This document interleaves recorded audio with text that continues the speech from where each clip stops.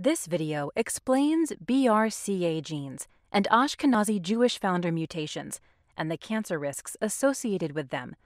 It also explains the types of results you may get from genetic testing and how these results may affect you and your family. When we say family, we mean family members related to you by blood.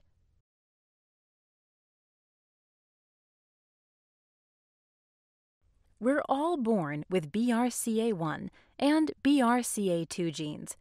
These genes help prevent us from getting cancer. But when you have a mutation in one of these genes, they won't work the way they should, increasing your risk for certain cancers. A founder mutation is a mutation that's more common in people who belong to a certain community. For example, people of Ashkenazi or Eastern European Jewish ancestry are much more likely to have a BRCA mutation. These mutations are called the Ashkenazi Jewish BRCA founder mutations. It's important for people with Ashkenazi Jewish ancestry to consider having genetic testing to find out if they have any of these mutations. Knowing if you have a BRCA mutation can help you understand and better manage your risks of certain cancers.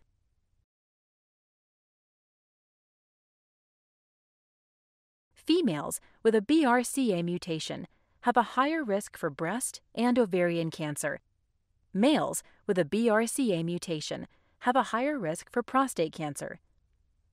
BRCA mutations also increase the risk for pancreatic cancer and male breast cancer, but these are rare cancers that most people with this mutation won't develop. BRCA mutations may also lead to a slightly increased risk for melanoma.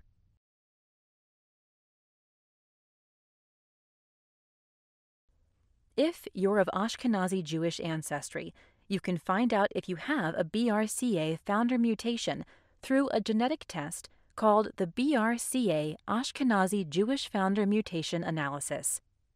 This test will look at the DNA in your blood or saliva to check for three specific BRCA founder mutations. If you choose to have this test done, there are two types of results you can get. A negative result means we didn't find a BRCA founder mutation in your DNA. This may also be called a normal result. This can be reassuring, but it's important to review your personal and family history with your genetic counselor. Even if you get a negative result, your genetic counselor may recommend you have testing to check for other BRCA mutations or mutations in other genes based on your family history. A positive result means we found a BRCA founder mutation in your DNA. This means you have an increased risk for cancers linked to this mutation, but there are many things you can do to help prevent them or find them early when they're often easier to treat. Your genetic counselor and healthcare providers will review your results with you and talk with you about what cancer screenings they recommend. Remember, this test only checks for the BRCA mutation in people who have Ashkenazi Jewish ancestry. If you're not of this ancestry, we can recommend a different test for you.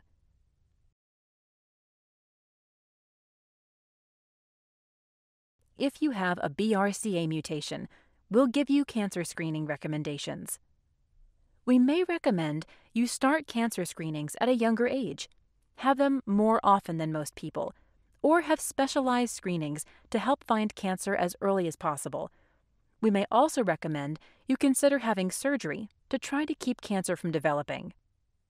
For example, we'll recommend that females with a BRCA mutation have breast screenings starting at an earlier age, or consider having surgery to have their breasts removed to prevent breast cancer. We'll also recommend that females who have a BRCA mutation have surgery to remove their ovaries to prevent ovarian cancer. This is done after family planning.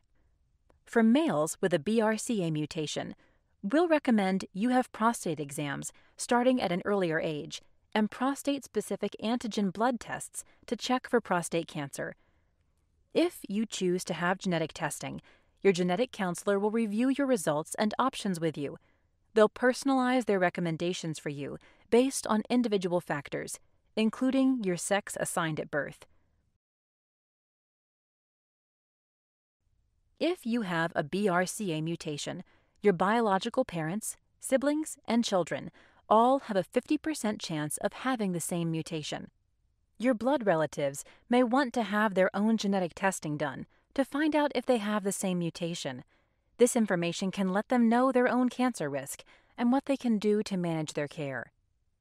If you have a BRCA mutation and plan to have children, there are options to prevent your children from inheriting the mutation. You may especially want to consider this if both you and your partner have a BRCA mutation, because there's a chance your child could be born with a rare condition called Fanconi anemia. This condition can cause many medical issues, including bone marrow failure. Your genetic counselor can talk with you about these options. Genetic testing can help you find out your risk for certain cancers whether you've been diagnosed with cancer or not. It can also help you and your healthcare providers make decisions about your care, like which cancers you should screen for. Even if you have cancer, genetic testing may be helpful for making treatment decisions or preventing future cancers. It can also help your blood relatives learn about their own cancer risk. There are also limitations to genetic testing for the Ashkenazi Jewish BRCA founder mutations. This testing only looks for the most common BRCA mutations. It doesn't look for less common BRCA mutations or mutations in other genes. This testing only checks for BRCA mutations in people who have Ashkenazi Jewish ancestry. Some people may worry about how genetic test results can be protected and whether they'll be treated differently or lose their health insurance based on the results of their genetic test. Currently, there is a law in place called the Genetic Information Non Discrimination Act, or GINA. This law protects against discrimination from health insurance or employers. Legally, genetic test results cannot be used to deny a person health benefits or a job.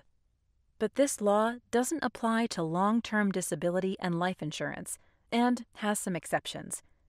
This means it's possible that disability or life insurance companies can use genetic test results to deny you coverage or raise your premiums.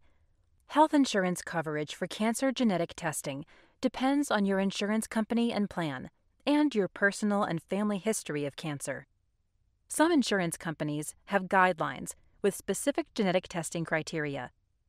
These guidelines can usually be found on your insurance company's website. Contact your insurance company for information about your coverage. When deciding whether to have genetic testing, some people may consider how they'd use their test results. For example, would they change how often they screen for cancer or consider surgery to prevent cancer? Are they willing to speak with their blood relatives about genetic testing and share their test results? Remember that genetic test results may affect your siblings, parents, children, and other relatives. We encourage you to think about the information in this video when deciding if you'd like to move forward with genetic testing for the BRCA Ashkenazi Jewish founder mutations. If you decide to get genetic testing, you'll first sign a consent form that reviews the risks and benefits of testing. Then, you'll make an appointment to have your blood drawn, or have a saliva collection kit mailed to your home. When the lab gets your blood or saliva sample, we'll ask you to schedule your genetic counseling consultation. During your consultation, we'll talk with you about your results and our cancer screening or prevention recommendations for you. We'll also talk about what your results mean for your family. It usually takes a few weeks to get your results back. We hope you found this information helpful. If you have any questions, call our office at 646 888 4050.